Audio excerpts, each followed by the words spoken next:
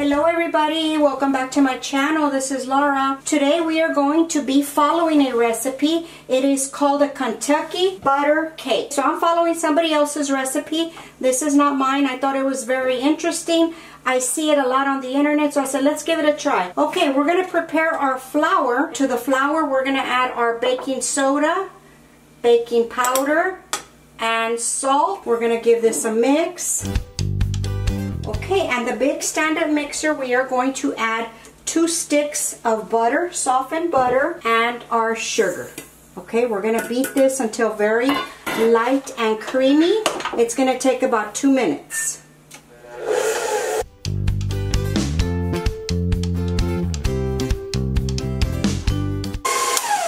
Okay, very light. It changes color. It almost goes to a very pale yellow. We're gonna add in the vanilla.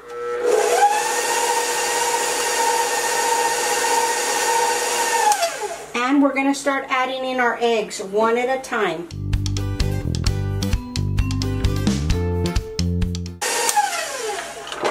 Okay, everything seems to be mixed nicely. We're just going to scrape the bottom of the bowl and we're going to start incorporating our flour along with the buttermilk and we're just going to alternate it. Okay, starting with our flour. And here we go.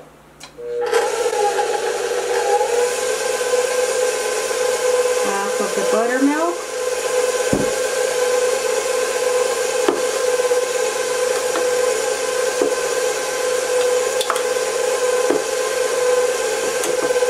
The rest of the buttermilk.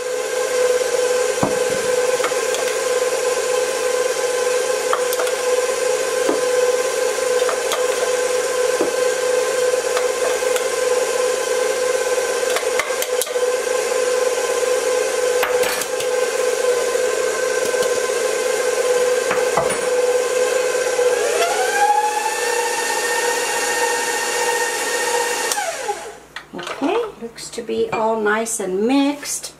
But again, we're going to scrape the bottom. Okay. Okay, here I have my Bundt pan that I'm going to use for this. I did uh, spray it with some nonstick spray and floured it uh, pretty heavy. So we are going to just pour our batter in and I'm going to start with the spoon so that I can go all the way around evenly and I have my oven preheating to 350 degrees. Okay, now that we have everything in there, we're just going to level this off. Okay, it's all ready. I'm going to pop it in the oven and I will let you know the exact baking time as soon as it's ready. Okay guys, our butter cake is out of the oven very hot. I just tested it with the toothpick. Everything looks good. We're going to let it sit here for about 10 minutes to cool and then I will flip it over onto my serving platter. So I will be back. But next we are going to start with our sauce, our butter sauce that goes on top of this cake. Alright guys, for the sauce we are going to add some water, some vanilla, some butter, and some sugar. Now, on the notes on the recipe, it states on there that if you want to replace the butter, I mean the water, you can add some uh, rum or brandy. But I'm just going to leave it with water.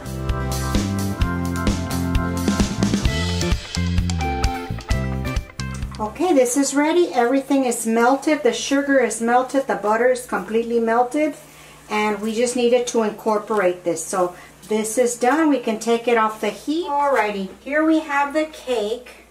I got these little long toothpicks. What we're to do is we're to poke holes into the cake so that we can pour the sauce on top.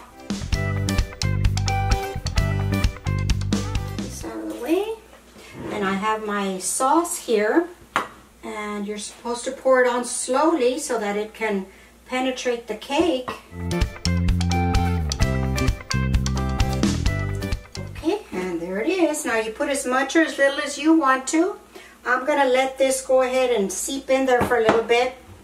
Maybe pick some of this up and reload it up. Okay, and there we go. All right, let's go ahead and give this cake a try.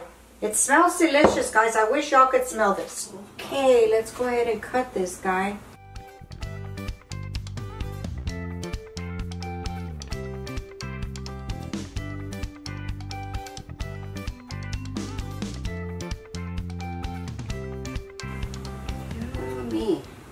There.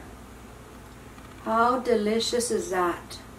And it's just a typical pound cake, but the taste, the smell of the, the sauce with the butter is just unreal. Okay, let's go ahead and taste this cake. Okay, everybody, we're going to give this cake a taste, and I will tell you right now, this smells awesome. So if you've never had it, this smells delicious. Mmm. Mmm. This is absolutely delicious. This is everything that they've been talking about. That's why I've been seeing it online a lot. I know this is not a new recipe, but I've been seeing it a lot on Facebook. It is worth the try. It is delicious, guys, I have to tell you. The sauce, the butter, almost tastes like caramel very good. The, the cake is delicious, very moist, and but it still has some texture in there. Very nice. I hope you give it a try. I know I'm going to keep it around, put it in my recipe box because that's a keeper for sure. Okay guys, that's going to conclude the recipe for today. I will have the, I'll try to find the original person that put out the recipe down in the description box and I will leave the recipe down in the description box for you and any items I may have used will also be down there. Don't forget, go visit us on Facebook and Instagram at Virtual Kitchen with Laura. And if you are new here and you are not subscribed, I surely would appreciate it if you hit that subscribe button and turn on that notification bell so they can notify you every time I upload a video.